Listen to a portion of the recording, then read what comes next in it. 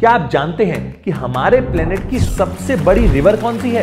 Well the answer is Nile river ये river length में 6,650 kilometre long है और ये अराउंड 11 कंट्रीज़ या उनके बॉर्डर से क्रॉस करती है।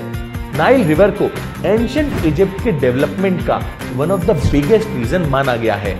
ये रिवर ट्रूली एक नेचुरल मार्बल है और अपने 6,650 किलोमीटर के रन के बाद ये फाइनली मेडिटेरियन सी में जाके मिल जाती है।